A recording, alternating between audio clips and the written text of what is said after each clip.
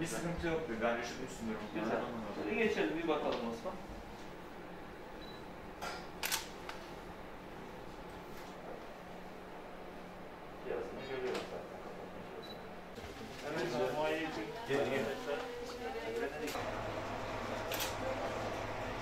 Ağzınızı açalım lütfen. Sağ olun. Rahat rahat nefes alın verin. Şikayet yok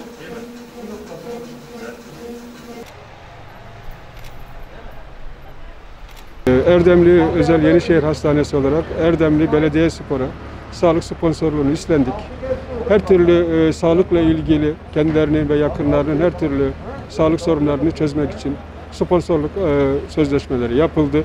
Bugün de 25 civarında futbolcunun tüm e, sağlıkla ilgili tetkikleri, taramaları, kalplerinin ve de diğer vücutlarının taramaların hepsi yapıldı. Hepsi maşallah çok iyi.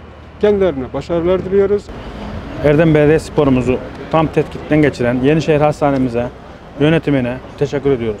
Belediye Sporumuza maddi manevi desteğini esirgemeyen Sayın Mükerrem Tollu Başkanımıza, yönetimimize, futbolcularımıza, teknik kadromuza teşekkür ediyoruz.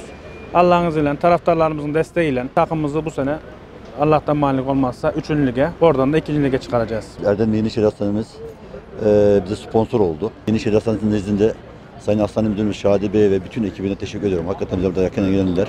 İyi bir kadro kurduğumuzu düşünüyorum. Öncelikle karakterli, düzgün ve e, performanslar iyi e, takımlardan gelen oyuncuları kurduğumuzu düşünüyorum. Belediye Başkanımız burada çok büyük ligleri yapmış. Hep Erdem bir de. Bir tek futbolda e, ligi kalmış. Yani profesyonel bir ligi kalmış. İnşallah onu da biz de ilk defa gerçekleştiririz. Ona güzel bir armağan olur. E, onun da desteklerinden olanlara da teşekkür ediyorum. Ee, Böyle bir süreçte Özel Yenişehir Hastanesi'nin bize destek olup e, böyle bir sponsorluğa imza atmasına biz takım olarak çok sevindik. E, Bu süreci de inşallah en güzel şekilde atlatacağız diye düşünüyorum vakaların düşüşüyle. Takım olarak biz bu ilçeyi şampiyonluğu 3. lige e, çıkmak adına elimizden gelen her şeyi yapacağız. Yönetimimizin hepsi bize e, tamamen destek veriyorlar.